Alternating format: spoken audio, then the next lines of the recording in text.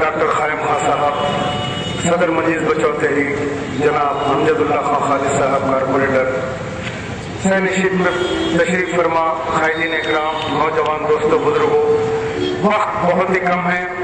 آپ کو مجید اللہ خان فرد اور ڈاکٹر خائم خان صاحب کو بھی سننا ہے۔ بہرحال قائد ملت نواب بہادر جار جنگ علیہ رحمہ کے یاد کے سلسلے میں جلسہ منعقد کیا گیا، جو ہر سال منعقد کیا جاتا ہے۔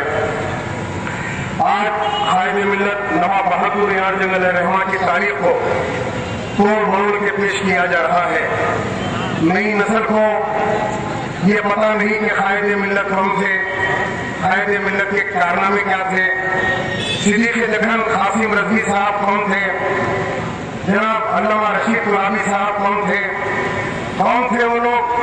جنہوں نے دارالسلام کو خریدا، کون تھے وہ لوگ جنہوں نے مرکز سیاسی کا نعرہ دیا؟ کون تھے وہ لوگ جنہوں نے اپنی جوانیوں کو، اپنی زندگیوں کو وقف کیا؟ کون تھے وہ لوگ جنہوں نے جیل کی سلاخوں کے پیچھے اپنی زندگی کو گزارا اور تکالیف کو اٹھایا اور قوم کے لیے دارالسلام کو رکھا؟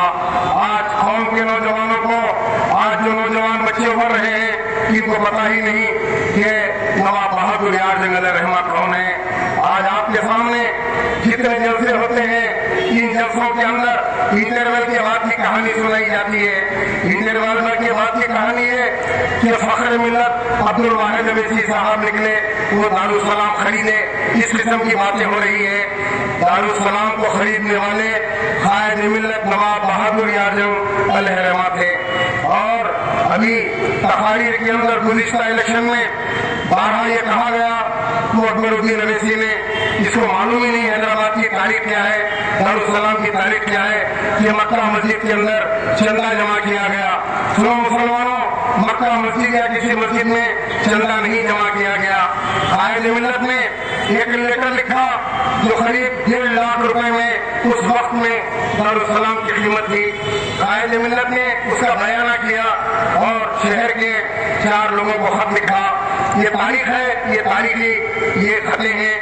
جس میں آپ نے اس وقت کے رئیس عمرہ جناب بابو خان صاحب علاؤ الدین صاحب عبد الرزاق صاحب، مظفر نواز جنگ صاحب، ان لوگوں کو خط لکھا کہ میں اس طریقے مرکز سیاسی مسلمانوں کے لیے خریدنا چاہتا ہوں، جہاں دینی اور سماجی تعلیم، دنیاوی تعلیم کا انتظام ہو، تو آپ لوگوں نے دس دس ہزار روپے چندہ جمع کیا۔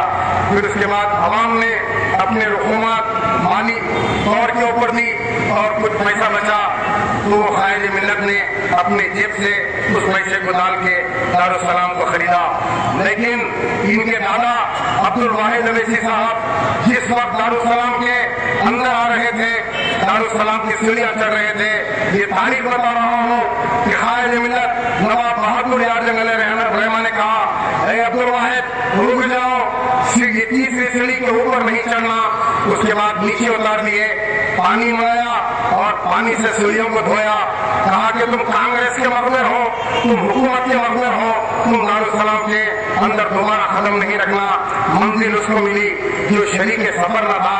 بہرحال، بعد میں حالات ایسے بنے کہ دارالسلام کے اوپر یہ اویسی پریوار حملہ کرتا ہے۔ اور آج دادا کے بعد بابا بابا کے بعد بیٹے کے بعد بیٹا، آنے والے دنوں میں ان کا بیٹا یہ ایک دارالسلام کو مذاق بنا دیا اور دارالسلام کی تاریخ کو بارہ جلسوں میں توڑ موڑ کے پیش کرنے کی کوشش کی جا رہی ہے۔ کہ دارالسلام ان کا ہے، یہ دارالسلام، یہ تو ویسے ہی بات ہو گئی کہ بابری مسجد کی جگہ فرقہ پرستوں نے کہا پہلے یہاں رام مندر تھی، اسی لیے توڑ دی گئی مسجد۔ آج کل کے دن کہیں گے یہ دارالسلام کے کچھ کاغذات بنا کے لائیں گے بولیں گے ہمارے دادا جان خریدے تھے، یہ دارالسلام ہمارا ہے۔ بہرحال، یہ دیپا شاہ مال اٹھا کے کچھ بھی بولتے تھے، کہیں بھی پبلک سنتی اور پبلک کو یہی نہیں پتا کہ آج وقت کی رائے کیا ہے، دارالسلام کیا ہے۔ اوقاف کے ہزاروں کروڑ کے آج زمینہ بیچ کے کھا رہے ہیں۔ اکبر نظام الدین جو حیدرآباد کا سب سے بڑا زمینوں کا دھرنوں کی زمینوں کا لینڈ گرامر ہے۔ یہ صاحب، آئی پی ایس آفیسر نے کل کیس درج کیا اور اس کو تحقیقات کا مطالبہ کیا اور اس نے کئی مساجد کی زمینیں اوقات کی زمینیں دیش کے کھانے والوں کو آج پکڑا جا رہا ہے۔ بہرحال وقت بہت مختصر جلسے کے لیے دیا گیا ہے۔ میں اپنی تقریر کو ختم کروں گا۔ ابھی الیکشن کا چار دن پہلے اپنے حالات کو دیکھا، کیا الیکشن تھا؟ کس طرح پولیس، کس طرح پولنگ بوتھ کے اوپر بیٹھے ہوئے، یہ پولیس کے سرکاری عہدیدار کس طرح گنڈا گردی کا ننگا ناچ نچایا جا رہا تھا؟ تین بجے سے چھ بجے تک مار پیٹ کی جا رہی ہے۔ آج اپنے آپ کو مسلمان کہتے ہیں۔ مسلمان گاڑی پکڑ کے مسلمانوں کو مارا گیا۔ کیا وہ مومن مسلمان نہیں ہے؟ اگر کوئی امریکی کا کام کر رہا ہے اس کو بوتوں کے باہر نکالا گیا اور اس کو مارا گیا اور پولیس والے کھڑے کے تماشا دیکھتے رہے۔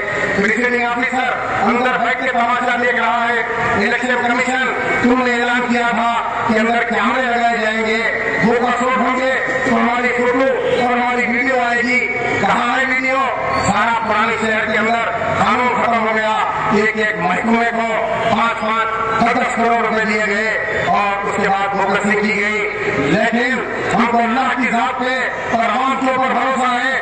یہ آخر پرانی نکلے گی۔ انشاءاللہ چلوان گپتا بھی کامیاب ہوں گے۔ اللہ کی مدد ہمارے ساتھ رہے گی۔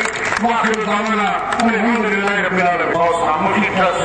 وہ آپ سے مخاطب